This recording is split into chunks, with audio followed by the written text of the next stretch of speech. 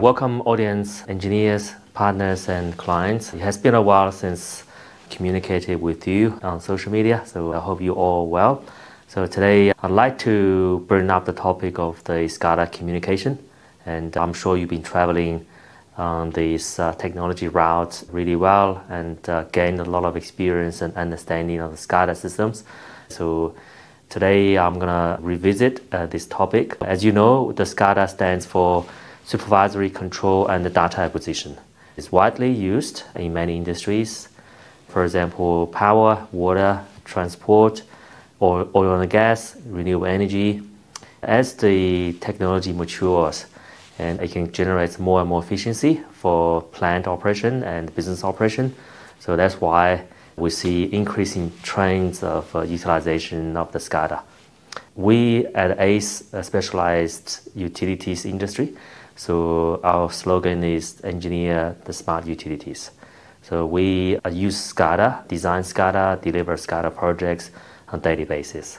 All our engineers are very fluent, are very proficient with the various SCADA platforms such as Citect SCADA, GeoSCADA or ClearSCADA, FactoryTalk View, uh, and many other SCADAs as well.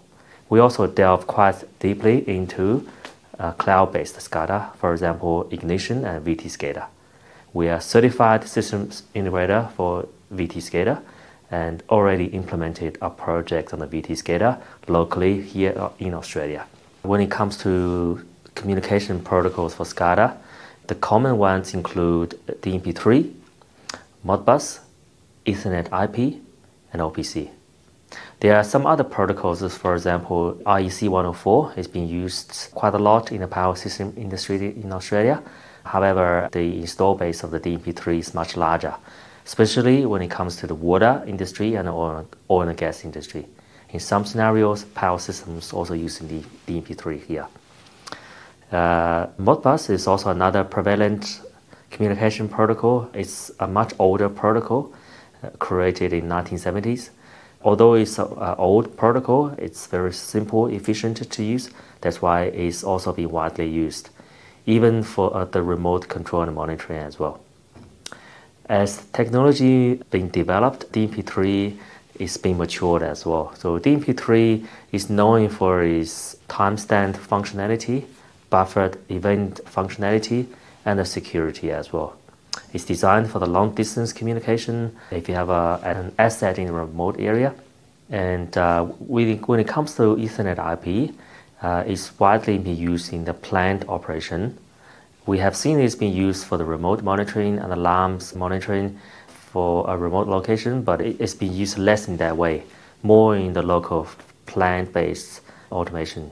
The, the other protocol is called OPC, and OPC UA becomes popular as the automation develops itself because it has not only the timestamps, the alarms, events, and information, but also it can be integrated seamlessly into the data historian as well. So that brings a lot of advantages for the clients. They don't have to do a protocol conversion between the field device, SCADA, and the data historian. So everything can be streamlined and the record can be kept and fed straight into the data historian. That will create a lot of efficiency when it comes to engineering, system integration, and also for keeping the integrity of the data as well we are executing a lot of projects currently on SCADA. One of the projects we're executing using the DNP3 protocol to establish trust, secure, and reliable communication between the outstations and the GeoSCADA. And that particular application is for a local water industry. I hope you enjoy this video and all other videos we produced so far. I really thank you for your faithful support we really appreciate you like, uh, subscribe, and comment below. Uh, once again, thanks, thanks very much for watching. If you have any questions, please give us a call or send us email. We'll be happy to assist you. See you next time.